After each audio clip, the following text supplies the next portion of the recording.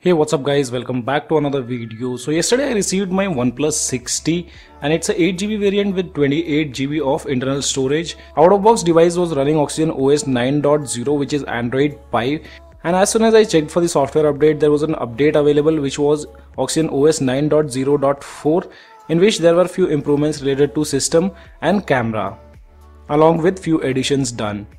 So I've already updated my device to the latest version that is Oxygen OS 9.0.4. So let me show you the software information by going to settings about section and here you can see Oxygen OS is 9.0.4 Android version is Android 9 with a security patch of 1st November 2018 and the changelogs which are available on this build that is Oxygen OS 9.0.4 all these things are also available on OnePlus 6 running Oxygen OS 9.0.2 First noticeable change is the about section where you have complete information about your device in the single screen.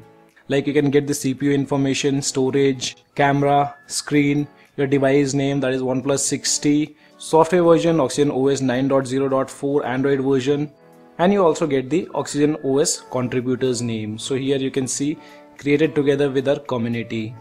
So after updating device to Oxygen OS 9.0.4, I just thought of using it for a complete day so that I can give you a better idea about the changes, performance and the battery backup. So this is still first cycle running as you can see I have 19% of battery still remaining on the device.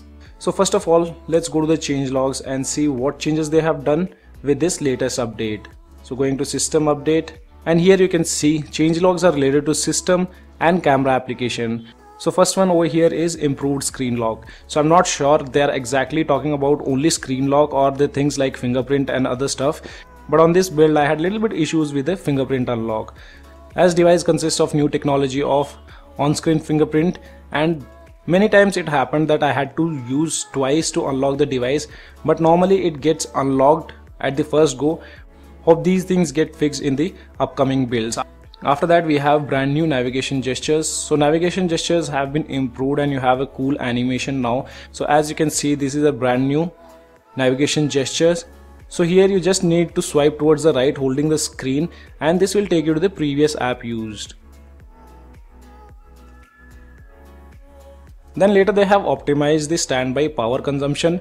For that make sure you go to settings, go to battery, battery optimization, tap these three dots go to advanced optimization and make sure this thing is enabled. That is sleep standby optimization.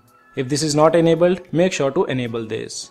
Then the security patch has been updated to November 2018 which I have already shown you. So going to settings about phone Android version. Here you can see 1st November 2018 is the security patch and the last one under system is general bug fixes and improvements. Now moving on to the camera part which says improvements for nightscape mode. So I've taken few photos which I'll be showing you now and the nightscape mode is been added on OnePlus 6 also. So you can go to the camera application, swipe up towards the left hand side you can see a option of nightscape which will enhance photo during the low light availability. And later under camera they have also added the studio lighting to enhance the face contour. So studio lighting does not have any additional settings inside the camera application. It auto applies to the photos having human faces. And these are few photos which I have taken in normal mode and nightscape mode.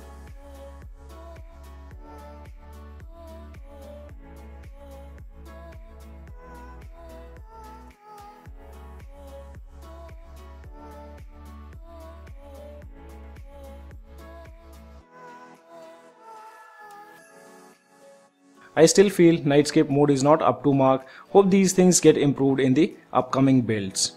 So guys, these are the complete change logs, what they have done on Oxygen OS 9.0.4. Now moving on to the battery part.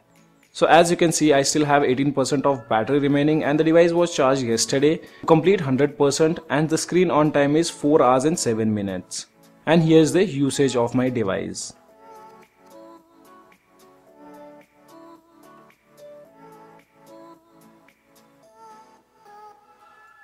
So pretty decent battery backup. And now let's move on to the benchmark results. With Geekbench application single core scored 2411 wherein multi-core scored 8888. With Antutu benchmark application the device scored 2,93,239. So guys these were the things related to the first update of Oxygen OS for OnePlus 6T and if you have any kind of questions you can let me know in the comment section below. As of now only this much in this video. Hope you like the video. And if you like the video then do give me a thumbs up. And also if you're new to my channel then do not forget to subscribe the channel. Thanks for watching. Have a great day